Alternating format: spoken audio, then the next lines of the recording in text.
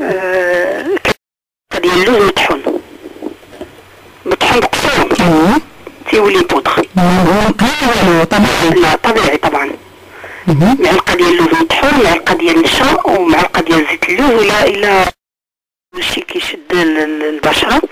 ثاني شي كيحيد داك الخطوط ديال التجاعيد الرقيقة اللي كاينة تحت العين.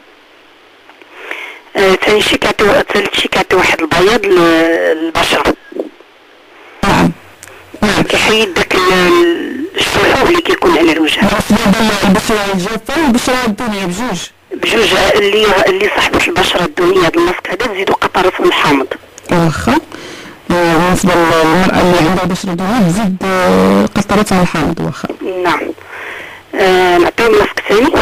مثلا نفكروا السيدات اللي كيكتبوا هاد لي ماسك يقدروا يكونوا شدوا معنا شي حاجة بان أول ماسك عطيتي بالنسبة للناس اللي عندهم بشره جافه قلنا معلقه ديال لافوكا زائد معلقه ديال الحليب زائد معلقه ديال العسل.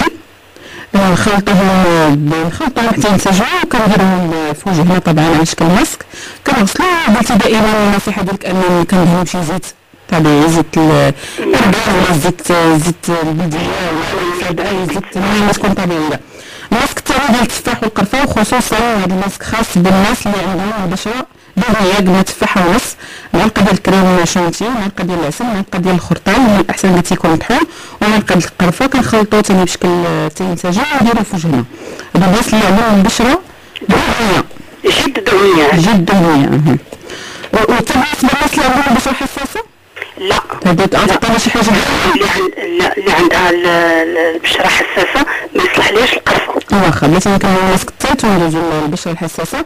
قلنا الماسك الثالث ديال النشا معلقه كبيره ديال النشا زائد معلقة ديال زيت اللوز زائد معلقة ديال اللوز بقشورة. هذا الماسك كيليق البشره الجافه وكذلك البشرة الدهنية. فقط قلتي أن البشرة الدهنية تزيد عليها شي شوية ديال الحامض باش نشف لها وجهها ياك نعم. واخا ال- بالنسبة للماسك اللي قلتي فيه.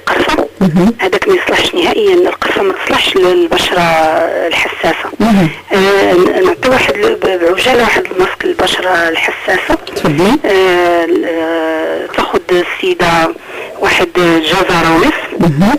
وتحكهم مزيان. وتعصرهم. تاخد غير العصارة ديالهم. تعصرهم غير بيديها.